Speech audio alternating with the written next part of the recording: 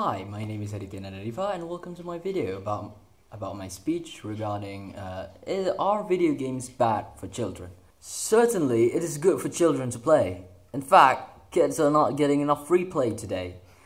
Kids learn many things through playing, especially friendly, rough, and tumble play, which helps the brain develop in multiple ways, including building social competence.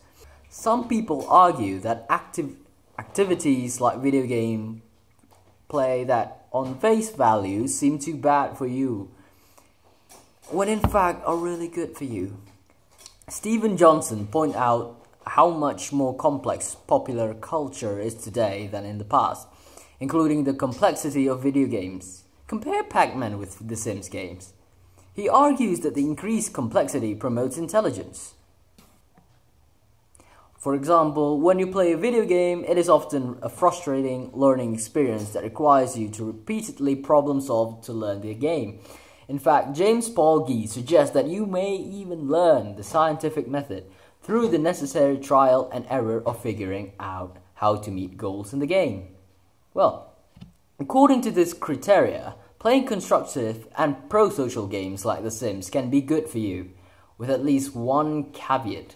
As long as you have a balanced life with real life, face to face friendship, and enjoyment in socializing. Playing violent video games is different from playing positive, constructive games. In fact, violent video games may have even more powerful influence than violent television and movies, whose risks have been documented for decades. While violent video games may promote some complex problem solving and coordination skills, as well as they may also have multiple negative effects. Well, here are three related to moral functioning. First, in violent video game play, the player learns to associate violence with pleasure. For example, rewards for hurting another character. This may undermine moral sensitivity. Under normal con conditions, human em emotional wiring is designed to abhor violence and feel rewarded for helping others. Those who play violent video games may build the opposite intuitions. Second, children practice over and over the actions available in a game. The player may practice simulated violent behavior hundreds, if not thousands of times. Violence video games allow and encourage virtual harm, for example, burning people alive. Is it what you want your children to be practicing for hours on end? Third, Video games can be a habit forming because they give immediate rewards for learning.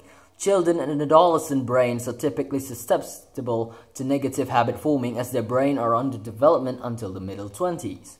Society should have a say about the availability of violent media. It is unfair to the backs of parents when there are so many human costs, toxic elements to monitor in a child life today, and parents do not receive the information they need to help to make decisions.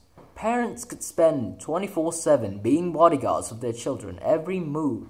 Parents could spend 24 7 being bodyguards of their children every move because of the endless onslaught of risky products and media.